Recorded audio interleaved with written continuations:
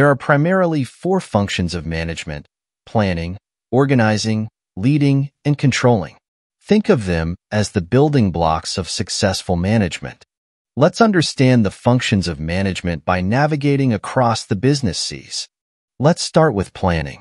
Imagine a ship captain planning a voyage across treacherous seas.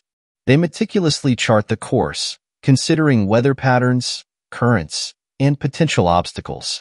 By planning ahead, the captain ensures a smooth journey towards the destination. Similarly, in business, planning involves setting objectives, determining strategies, and outlining steps to achieve desired goals. Next up, we have organizing. Once the captain has charted the course, they organize the crew's responsibilities. Each member is assigned specific duties, from navigating to maintenance, ensuring that every aspect of the voyage is well coordinated. Similarly, in business, organizing entails allocating resources, assigning tasks, and establishing workflows to maximize efficiency and productivity. Now, let's have a look at leading. A great captain doesn't just give orders, they lead by example.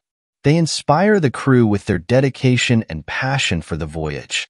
Through effective communication and mentorship, they instill confidence and unity among the crew, driving them towards success. Let's hear the captain of the ship. Attention crew members. I know the winds are howling and the seas are raging around us, but remember this, we are not defined by the storms we encounter, but by how we navigate through them. That sounds quite motivating, doesn't it? Let's have a look at leading in business. Leading involves inspiring and motivating the crew to work towards common goals, fostering a culture of collaboration and innovation. Last but not the least, controlling.